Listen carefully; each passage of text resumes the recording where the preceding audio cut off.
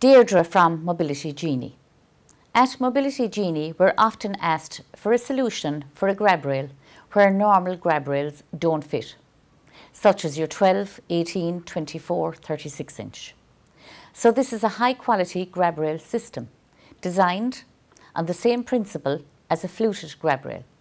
So when you see it vertically, you'll see that the lines are going downwards so that whether your hand is dry or wet, you have a good grip. This 800 millimetre bar can be cut to any length and it can be slotted into a choice of fittings. So you have a T-piece, an end cap, an end bracket or a 90 degree elbow. And it is always recommended to use a standard solvent adhesive on all of the joints in order for it to be secure and safe. So for example, if this 800 millimeter wasn't long enough and I needed to attach it to another rail, then I would use the T-piece. So if you see the T-piece, you'll see the holes for the screws and there is a cover that can go over those holes in order for the, the screws not to be seen. So then you attach one grab rail onto the other. Now if twice 800 millimetres is too long, you can cut the second bar to whatever length you need. If you're happy with the length that you have at any stage, then you can use an end cap.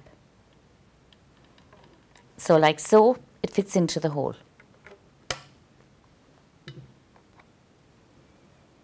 If you're not satisfied with that finish and you'd like a more rounded finish, you have an end bracket. So you can attach, instead of using the T bracket, you use the end bracket. So that's your finish. If you wanted to go around a bend, for example, you would imagine that you would use that like that. That's the, in the, the um, 90 degree elbow. But then it wouldn't be secure up against the wall.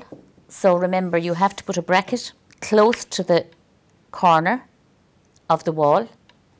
Then put on your end bracket and continue with the other side of the grab rail. And again, remembering to put a T bracket on the other side of the angle. So that is your high quality grab rail system.